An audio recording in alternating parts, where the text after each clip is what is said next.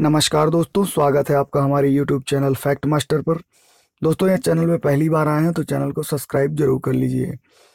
दोस्तों, आज मैं बात करने वाला हूँ गणित पैडागोजी की। सी टेट दो हज़ार उन्नीस के लिए गणित की पैडागोजी बहुत ही इंपॉर्टेंट है। गणित चूँकि टफ सब्जेक्ट है, इसमें कई प्रश्न आप लोग हल नहीं कर पाते हैं, लेकिन अगर पैडागोजी जानते हैं तो पैडागोजी से आपको बहुत ज़्यादा हेल्प मिल जाती है और आपके जो है गणित में स्कोर भी आपका अच्छा हो जाता है। तो दोस्तों, ये प्रश्न है बहुत ही इंपॉर्टेंट और कई बार रिपीट भी हुए हैं, इनको जान लेना बहुत ज़रूरी है। तो दोस्तों, देखते रहिए वीडियो को, अंत तक चलिए शुरू करते हैं। रेखा गणित की महत्वपूर्ण विधि कौन सी है? तो दोस्तों, रेखा गणित की जो महत्वपूर्ण विधि है, वो है निगमन विधि। यानी कि निगमन विधि में जो है, नियम पहले बताए जाते हैं और बाद में उदाहरण का प्रयोग किया जाता है। दोस्तों, अगला है दस गीतिका नामक ग्रंथ की रचना किसने की थी? तो दोस्तों दस गीतिका नामक ग्रंथ की रचना जो की थी वो की थी आर्य भट्ट ने।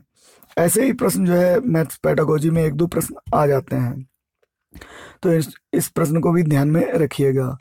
शिक्षण के सामान्य उद्देश्य कैसे होते हैं? तो दोस्तों किसी भी शिक्षण के लिए जो उसके उद्देश्य होते हैं वो दूरगामी होते हैं। याद रखिएगा ये प्रश्न कई बार रिपीट हुआ है। तो आपको याद रखना है कि शिक्षण के जो सामान्य उद्देश्य हैं वो दूरगामी होते हैं। दोस्तों, अगला प्रश्न बहुत ही इंपॉर्टेंट हो जाता है। क्योंकि इसमें जितने भी प्रश्न हैं, वो ज़्यादातर जैमित से रिलेटेड हैं, रेखागणित से रिलेटेड हैं। ज्यामिति हल करने के लिए किस विधि का प्रयोग किया जाता है? तो दोस्तों, जो जैमित है, हल करने के लिए जैमित में जो है बार बार जो है समस्या आ जाती है, उस समस्या को हल करने के लिए प्रयोग किया जाता है विश्लेषण विधि का। लेकिन पहले ही हमने आपको बताया कि रेखा गणित की जो महत्वपूर्ण विधि है, वो निगमन विधि है।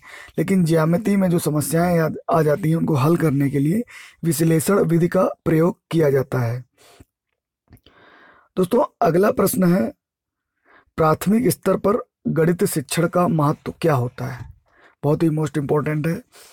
कई सारे ऑप्शन आपको दिए रहेंगे, चार ऑप्शन दिए रहेंगे लगभग मिलते जुलते, लेकिन आपको ध्यान में रखना है कि प्राथमिक स्तर पर जो गणित का शिक्षण दिया जाता है, वो उसका जो महत्व होता है, वो होता है व्यवहारिक, यानी व्यवहारिक रूप से व्यवहार में जो है बच्चों को सिखाया जाता है कि किस तरीके से जो है कौन कौन सी चीज़ें होती हैं। आप उनको डायरेक्ट नहीं सिखा सकते हो कि नियम बता दिया, उसको हल करवा दिया, पूरा निगमन विधि के थ्रू।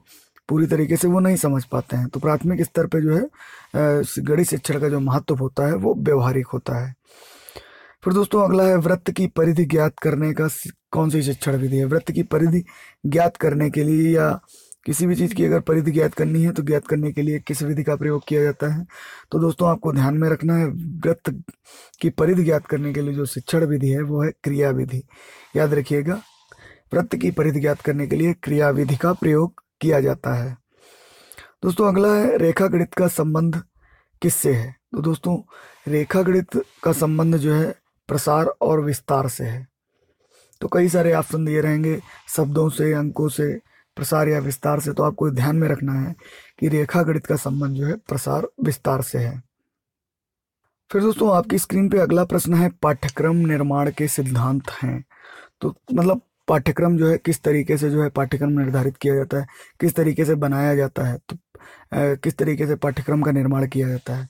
तो दोस्तों, इसमें जो है कई सारे इंपॉर्टेंट पॉइंट हैं, इनमें से कोई भी आपको ऑप्शन में दिख जाएगा, या सभी दिख जाएँगे तो आपको उपयुक्त सभी वाला जो है टिक करना है, या इनमें से कोई भी दिख जाए तो आपको सटीक जो है उसका आंसर होगा। यानी कि पाठ्यक्रम पाठ्यक्रम के निर्माण के लिए समन्वय होना ज़रूरी है। और सुसंगठित पाठ्यक्रम किस प्रकार हो ये भी आवश्यक है।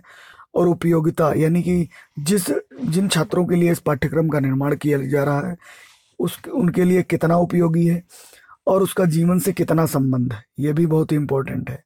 क्रियाशीलता और साथ ही साथ परिवर्तन, ये सारी चीज़ें जो हैं, पाठ्यक्रम निर्माण के लिए बहुत ही इम्पोर्टेंट है और यही पाठ्यक्रम निर्माण के सिद्धांत हैं। अगला दोस्तों है, गणित सभी विज्ञानों का सिंह सिंहद्वार है और कुंजी है। ये कथन किसका है? ये भी इस तरीके के भी एक दो क्वेश्चन ज़रूर आते हैं।